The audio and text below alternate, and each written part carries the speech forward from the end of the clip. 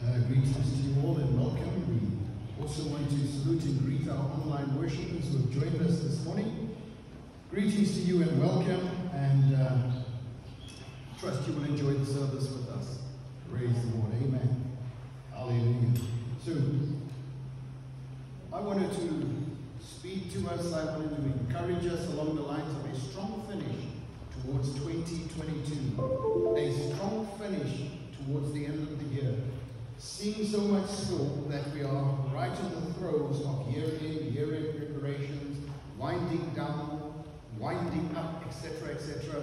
I want to speak to us about moving towards a very strong finish for 2022. Amen. It's been a tough year, it's been a challenging year, but uh, I believe that by the grace of God, as we encourage one another, as we pray for each other, that we can and indeed finish the year on a strong note. Praise the Lord. And uh, I'd like to take this portion of scripture from 1 Samuel chapter 30, and I'm going to read various verses from it, verses 1 to 8, verses 18 and 19. But I'm pretty sure you're all familiar with the story. It's the story of David in the place called Ziklag. And the Bible says, Now David was greatly distressed because the people spoke of stoning him, because the soul of the people was grieved, every man for his son and his daughter. But David strengthened himself in the Lord his God. Then David said to Abiathar the priest, and Ahimelech's son, Please bring the ephod here to me. And Abiathar the priest brought the ephod to David. So David inquired of the Lord, saying, Shall I pursue this troop? Shall I overtake them? And he answered David and he said, Pursue, for you shall surely overtake them, and without fail you shall recover all. So David recovered all that the Amalekites had carried away.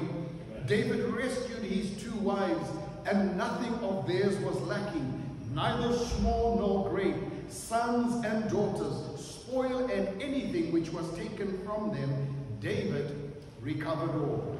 Hallelujah. We see in this text and in this passage of scripture that David moved from being a gladiator, from being a warrior, to becoming a priest. And we'll speak more into that a little later into the message. How that we need to move from being a warrior to being an intercessor. How that we need to move from the battlefield to the prayer field. There are times when you need to come out of the battlefield and get into the prayer field. We cannot remain on the battlefield indefinitely. In the same way, we cannot remain indefinitely on our knees. There's a time to do and there's a time to pray. So, David was having a bad day if we bring this in context this morning, and we all have had bad days. If you have lived any length of time on this earth, you will know what it is like to have bad days. But this was no ordinary bad day for David. This was the epitome of bad days. The worst possible scenario that could happen to a man. And the worst day, certainly, of David's life. He's lost everything. He's lost wealth, he's lost home, he's lost family, and he's lost the support of his mighty men. He's lost it all. And in this moment, David learns to encourage himself in the Lord. And I don't know how this year is working out, how it's panned out for you. I don't know where you find yourself this morning. I don't know what battles you fought over the last 11 months, what battles you are still facing, still fighting. I don't know what challenges you have. I don't know how many battles you've won, and I don't know how many you've lost. But from the testimonies we received yesterday, it would appear, praise God, that many of us are winning. We are winning. We are scoring victories, praise God. But where the rest of us are concerned, perhaps this message is synonymous with what you're going through. And so David learns to encourage himself in the Lord. And right now we need to learn to encourage ourselves. If we're going to finish the year strong, we've got to learn to encourage ourselves in the Lord. Because it's customary for people to lose faith along the way, to lose courage along the way, to become tired and fatigued. And we cover that as well in the message this morning. Tiredness can lead to discouragement. And you can find people losing faith, losing victory towards the end of the battle and the end of the year. They say in sport, like in the sport of soccer, most of the worst injuries happen between 90 minutes and 95 minutes. When players are really tired and weary, that's when legs break, ankles are twisted out of shape, etc., etc. And towards the end, we want to finish strong. Praise God for that. So we're going to look at a few pointers this morning to encourage us as we work towards a strong finish. Number one, it's okay to cry. Oh, the men are looking at me strange this morning. The men are looking at me strange this, uh, this morning. Um, it's okay to cry. Now, I'm not encouraging us to go out and just have a weeping session instead of a prayer meeting. We have a weeping session. But listen, if you have to go through something like what David went through, you'd weep too. The men wept because they lost their wives and their children. And in the context of the story we're reading, they had no knowledge of how the end was going to be or what the end would entail. And the message and what, what we can draw from this is that God knows the end from the beginning. But where they were concerned, they had lost everything. So this was. And so they wept uh, because of what they had lost. And even David cried and lifted up his voice to the Lord. So I want to read this portion of scripture to you Psalm 56, verse 8, and it truly ministered to me. It says here, David says in the psalm, You keep track of all my sorrows. You have collected all my tears in your bottle. You have recorded each one in your book. God is a God of tears, and He recognizes tears. He knows those many tears that have fallen from your eyes. It may have fallen to the ground, it may have fallen onto soil, but God has kept record of it. The Bible says that He has a bottle with all of these tears in there. And this bottle serves as a reminder of the things that cause us to weep. And there are many tears that we shed. There are tears of joy. I don't know how many of you can identify with that. Then there are tears of grief. As a family, we've lost a loved one in the course of this week. Many tears were shed. Many tears, for that matter. Tears of grief. All the same, God knows. There's tears of frustration. Come on now, it's been a long, hard year. We've also reported victories, but we've also heard some sad stories too of frustrations in people's lives, trying to accomplish things, trying to win battles, but we just record failure after failure. And so there's tears of frustration. Hallelujah. Remember, emotions are an essential part of who we are. You cannot experience true worship and joy without them. God has given us emotions. He hasn't asked us to bury them. But at the same time, emotions are not meant to control us. Emotions are not meant to determine the end of our lives and the end of a situation. Praise God for that. So it's okay to weep. It's okay to shed a few tears. But this is what God says in His Word. Psalm 30 verse 5. For His anger endures for a moment, and in His favor is life. Weeping may endure for the night, but joy cometh in the morning. Hallelujah. So I don't know if you're in a dark period or in a dark place, but the word of the Lord says that joy cometh in the, in the morning. Praise God. Amen. God is writing the chapters of our lives. God is writing the book of our lives. And He knows when to punctuate our lives with a full stop or just simply a pause to say, let this chapter end and let a new chapter begin for that matter. But all the same, God is in charge. And God is writing the book of our lives. And as I always say, God writes bestsellers. God writes bestsellers. Praise God. Amen. Lord. So it's okay to weep, but listen, our weeping mustn't keep us in the valley of Baca. The valley of Baca is known as a place of weeping, but we don't stay in the valley of Baca. We come out of it. And the next point is this that I want to share with us this morning. Never grow bitter. Don't grow bitter through your situation. Matthew 16, verse 12. And it says, And forgive us our debts as we forgive our debtors. In moving towards a strong finish, we must never grow bitter. You will know when people are growing bitter. When people are going through circumstances, you try to help them, you try to counsel with them, you try to talk with them, and you say, Listen, you've got a shoulder to lean on. Let's walk this thing through together. Let's talk together. And in the course of their conversation, you'll hear the bitterness. Mary and Martha revealed their bitterness. When they saw Jesus, the Lord of glory, the God of all answers, instead of looking to him for answers, they looked at him and they said, If only you were here. There's regret. There's that tone of bitterness that's coming through. The regret. If only you were here, this would not have happened. But I want to say to us, let us not grow bitter. You can grow bitter or you can grow bitter out of every and any situation that you're going through. God knows how to work it out. God knows how to draw sweetness from every situation. Samson killed the lion, but in the end, he drew honey from out of the lion's carcass. God knows how to draw sweetness from each and every situation. And we must be encouraged to believe that good will come out of this. You meant it for evil, but God meant it for good. Never grow bitter. So while David lost almost everything, his men grew bitter and wanted to stone him. But David uh, had to turn to the Lord and he learned to encourage himself in the Lord. Amen. It's amazing how people are in life and in ministry. I don't know in business. Perhaps some business people can uh, attest to this. But as a leader, if you're leading well, they're singing your praises. If you make a mistake, then they come down on you really hard. Amen. And Jesus walked the streets of Galilee doing miracles, preaching the good news, and they hailed him. They said, Hail, the King of Israel. Amen. A few days later, they said, same people said, Crucify him, crucify him. Amen. So people are just fickle. They could change with their emotions. And we must learn never to trust in people where emotions are concerned because they can disappoint you. But the point is never grow bitter. Never grow bitter. On the way to church, uh, no, it was yesterday, going home from our, after our leadership meeting, we were talking about things and we talking about certain people in the church and how they've learned to forgive others. We we're talking about forgiveness. We're just talking about how important it is to forgive.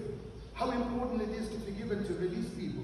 And I was sharing, and I think perhaps for the first time my wife was listening to the side of my story. We're so busy we don't get time to talk to each other. We talk about other things and other people for that matter. And I said to you, I was reading an article once in which a guy was talking about the love of God. And for that moment the heavens opened and so did my heart. A lot of times we receive knowledge, but it only enters our mind. As long as it stays in your mind, it's knowledge. But when it falls into your heart, it becomes revelation. And this is something I've known forever. What is this? That God loves me. I've known that like forever in a day. But for the first time in my life, it sunk into my spirit and I lightened up like Eskom. I just came alive and I realized God loves me. Now I can love other people. I can love the unlovable people. Now I can forgive people because God has forgiven me. What was knowledge became a revelation. And when it bursts out of your spirit, you've got something to give and something to release. Hallelujah. And I found it easy to release people that I was toward. You don't realize you're harboring a grudge until you look at what happened. And you keep rehashing the past. If you keep rehashing the past, the hurt is still there. Rehash it, nurse the hurt, and the bitterness remains. Praise God. But when you realize how much God loves you, you can forgive and release people. Now, I don't know what has happened over the course of this year. Now, David could have sat there and he could have uh, uh, processed the situation and he could have said, It's not my fault. I didn't do this. It's not my fault. Someone else came and burnt our city down. And he could have just shifted the blame onto other things uh, and other things and moved along like that and just re reshuffled the deck, so to speak. But you know what? He did not grow bitter. And we must be careful that we do not become bitter. So I don't know how the year is going for you. Is it going well or is it going tough? Is it tough? When the tough, when the, when, when the tough times come, I don't know what the tough people do, but I'm cheering with you, don't get bitter. Don't get bitter over life and over circumstances. David did not blame people. In the Garden of Eden, when God came to Adam, he said, Why have you done this? He said, It's not my fault. He said, It's the woman you made me. Turned to her, looked at her and said, Why have you done this? He says, It's not my fault, it's the serpent. And God spoke to him, and we know the judgment that God pronounced on the serpent in the garden. But we look for things to blame, we look for people to blame. How's it going so far? Are we blaming things and people as we're going along? Or are we prepared to take ownership for life and how this year is going and how it's about to end? Are we taking ownership? That's important. Let's take ownership. Let's not just hand it over to someone else or something else and say, you know, he's to blame or that's to blame for how it's going. And, uh, you know, just put the blame onto something else. But let us not grow bitter. Let us choose to forgive. Perhaps business deals have failed us, have fallen through the, the cracks in the course of this year. Perhaps it's family, perhaps it's friends. Let's choose to forgive. As we forgive our debts, we forgive. God forgives us of our debts as well. And I was saying to uh, Pastor Lee as we were talking, um, there were so many incidents in my past life over the last couple of years. And God has moved graciously upon my life, cut through all the pain, the headache and the heartache. I've been able to reconcile with family. I've been able to reconcile with my old pastor and other pastoral friends and ministers that we once walked together with and had differences of opinion or doctrine or whatever, and they went their way and I went my way. Of course, I was right, but uh, we just didn't. we didn't want to say it at the time. I'm just joking. That's know. But of course, you know, And we to end the year uh, strong. We don't want to be holding grudges and say, you know, I'm holding on to that guy and, and on that situation. Let us not grow bitter. Let us grow better. Because bitterness can give rise to sickness, disease, and listen, bitterness can affect your finances. Let's try these people over here. Bitterness can affect your finances and it can affect your health. Amen. Yeah. Because it's of the enemy, it's not of God. Hallelujah. Thirdly, let us look at this. Learning to encourage yourself in the Lord. Ephesians 6, verse 10 to 11 says, Be strong in the Lord and in the power of his might. Put on the whole armor of God, that you may be able to stand against the wiles of the devil. And uh, this is a strong point. We've got to learn to encourage ourselves in the Lord. I've learned this time and time again. Before COVID, during COVID, church open, church closed, church open, church closed. You know the story of the saga that we had to go through. But you had to learn to encourage yourself in the Lord. No one came along. There was no church authority figure to send messages to us ministers to say, be encouraged, don't worry. COVID is lifting. They're going to lift the restrictions. It's going to be okay. There was a time we thought it's just going to stay this way. Church will open, church will close till Jesus comes. And you get dispirited, you get discouraged. I don't know about you, but you have to learn to encourage yourself because no one's going to do it for you. I don't know if you're going through something in marriage, something in business, something to do with finances, something to do with your spiritual walk with God. But if you don't do it for yourself, no one's going to do it for you. There was no one to do it there for David. And that's the true mark of Christian maturity and a maturing child of God. It's not a problem to cry. We're not going to look at you and say, that's an immature Christian. I went to him to get a testimony. Instead, he's crying. That's okay to cry if you are. It's okay if you reported a bit of bitterness, but you're dealing with it in your life and you're saying, Lord, uproot this bitterness. Help me to forgive and to move on. But listen, if you are discouraged and you stay down, that's a sign of immaturity. Because isn't that what children do? Those of you that still got little ones this young, when they start crying, what do they do? They throw themselves down. Hey, grandfathers. And then they don't get up. They'll wait for an adult to come and say, Come, let me give you sweetie. Come, let Opa love you. Come, let me do this. They don't get up. But that's children. Or what do grown ups do? Now they say when adults fall, it's not bad. It's just when they keep quiet. You know, adults, older people, they fall and they keep quiet and get very worried. But here's the thing if we fall, spiritually speaking, it's a sign of maturity to pick yourself up. I don't know how and I don't know how long it's going to take, but you've got to learn to pick yourself up. You're going to learn to pick up yourself, and this is what David did. He learned to encourage himself in the Lord. And as Paul says, be strong in the Lord and in the power of his might. We cannot do it in our own strength. Perhaps you are sitting in your city of Ziklag, discouraged, broken, and despair and ruin all around about you. But you've got to learn to be strong in the Lord eh, and in the power of His might. There are there, there is what is known as the four F's: fear, failure, frustration, and fatigue.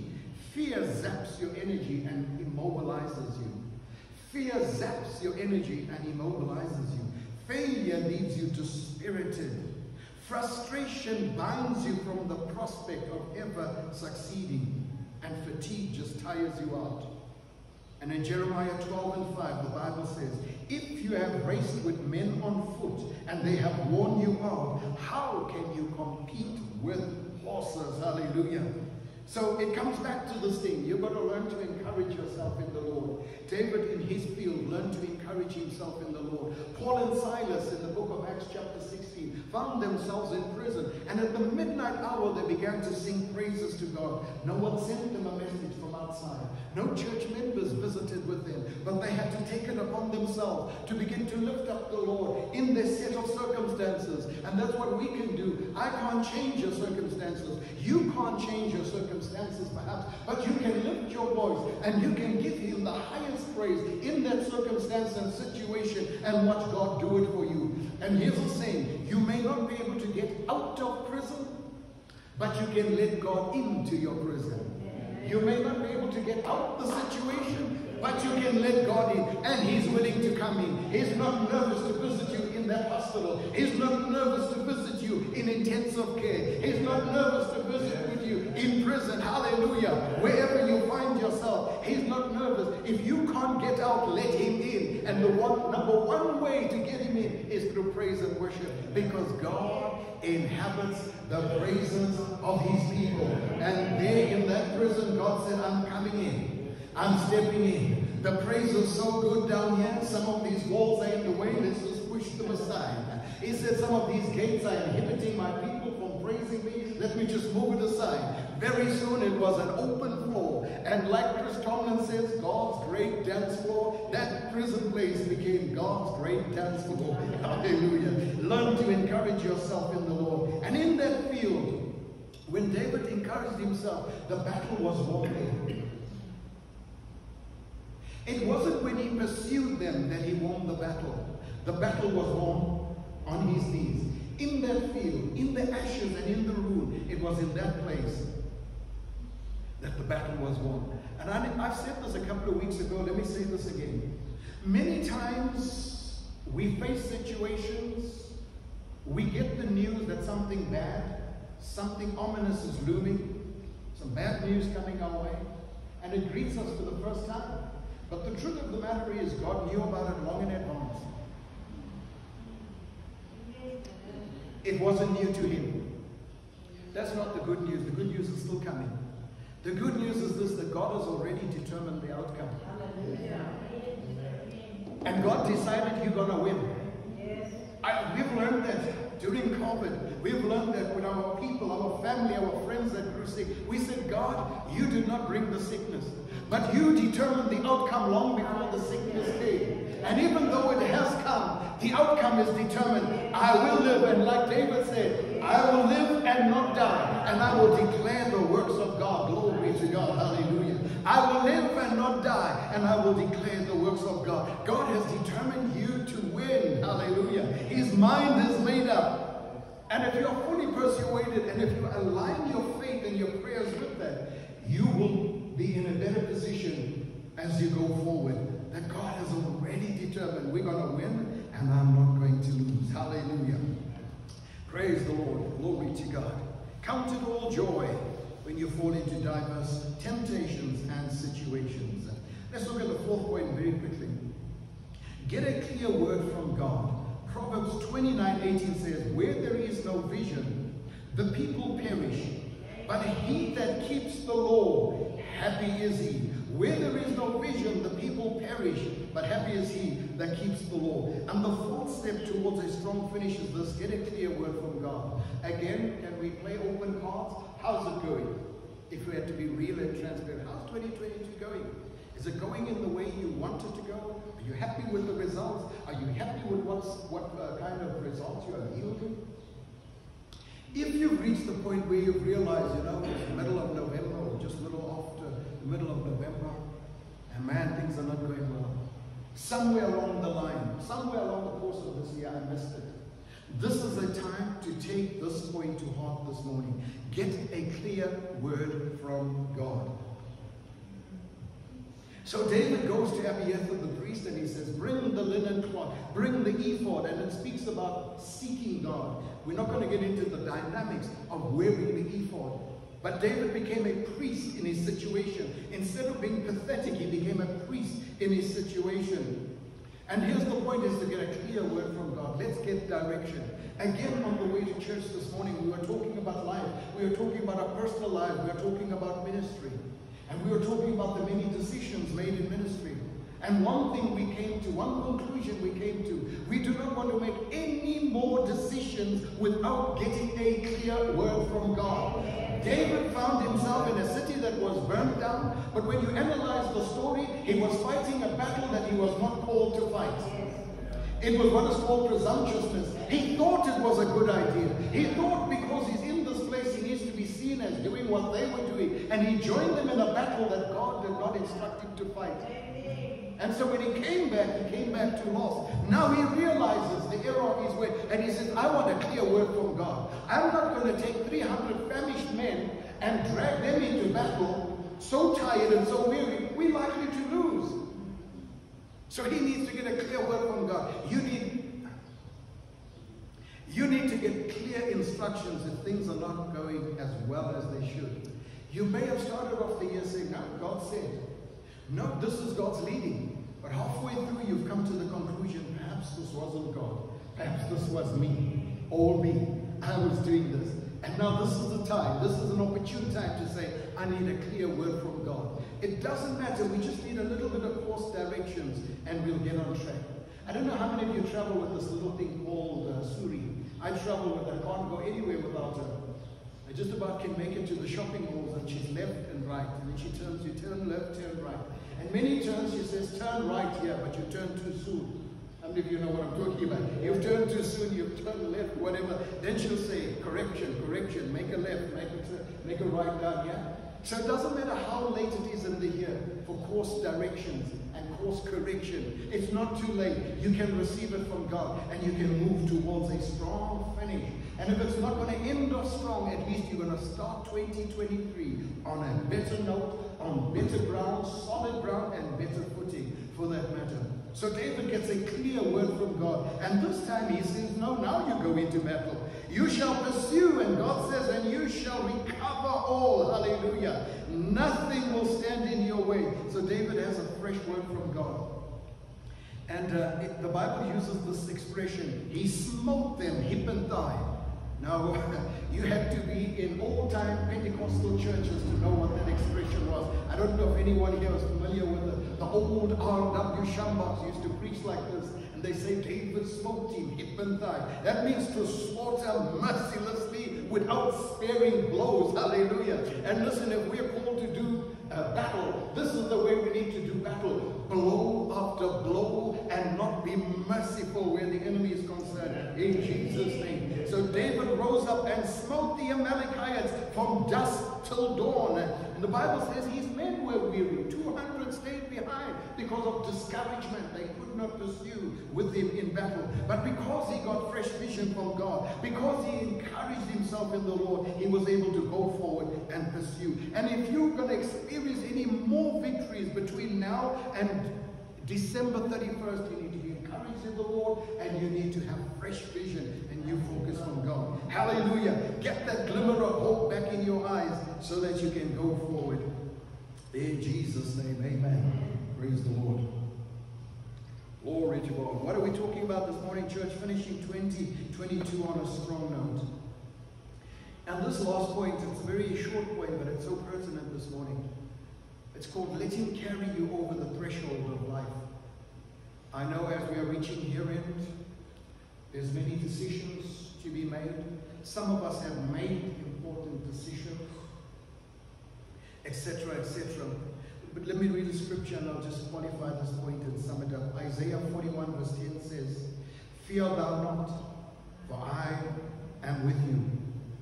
Be not dismayed, for I am your God. I will strengthen you, I will help you, and I will uphold you with my righteous right hand.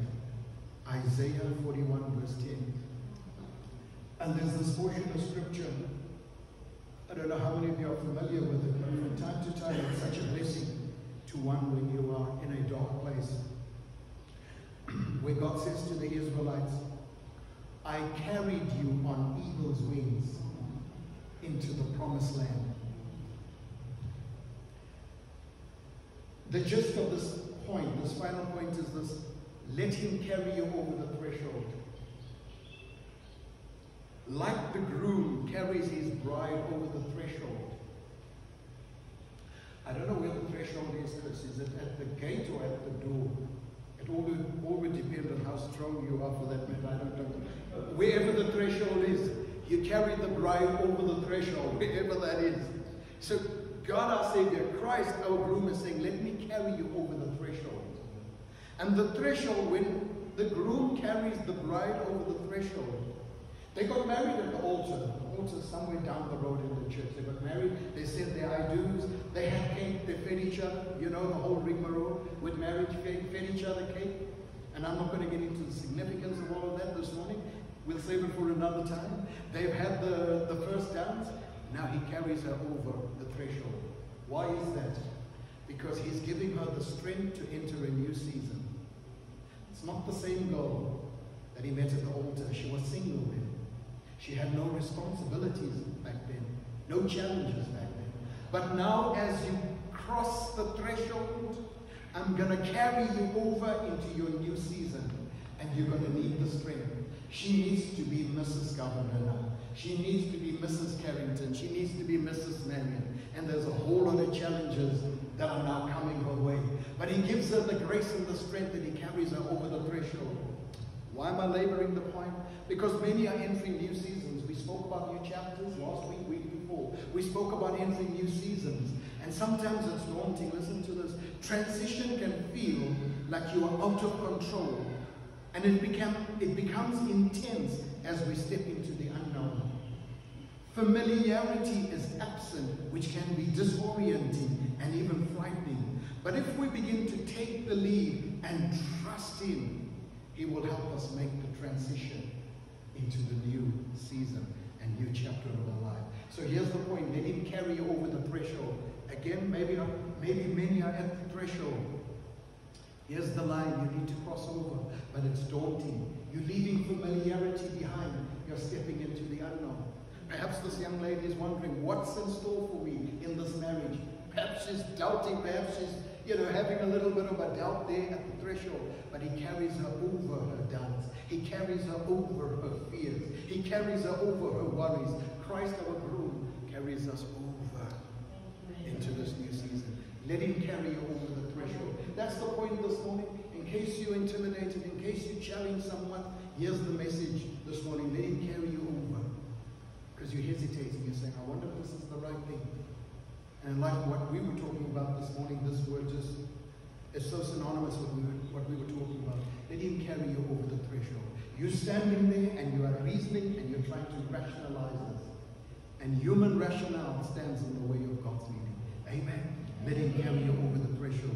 If you're in a time of transition, trust him. Let him carry you over. Turn your fearful reaction into a faithful response to say, Here am I, Lord. Here am I, Lord. And Exodus 14, 14 says, The Lord will fight for you. Amen. Hallelujah. Glory to God. Praise God. We good? Good. Hallelujah. Let's flow with that. Let's flow with that. Let's flow with that. Thank you, Lord. Let him carry you over this threshold. Let him carry you over into this new season, this new chapter. Amen this morning. Hallelujah. Let's look to him this morning in prayer. Father, we thank you for the glorious, glorious, awesome name of Jesus. Father, we pray over the congregation at large. We pray over the families, especially. We bring, oh God, the Carrington family to you who have come through and are going through a season of grief. And Father God, we pray that the merciful hand of God be stretched towards them. We pray that the hand of God would come over them and even overshadow them this point in time. That He will carry them over the threshold into a new season, a new dawn, even a new time in the Lord our God. And Father, for this we are truly grateful. We know, God, in your word you said, I will never leave you, nor will I ever forsake you, Lord God. And Father, even as Mary and Martha had regrets right at the brink of a miracle, right on the verge of a miracle, they still had regrets. You were merciful with them. And you said, if only you will believe, you will see the glory of. And Father, we pray over the congregation at large and we say, let them come back to faith once again. Let them put their faith, trust in God again. Their unwavering faith back in God and the Word of God.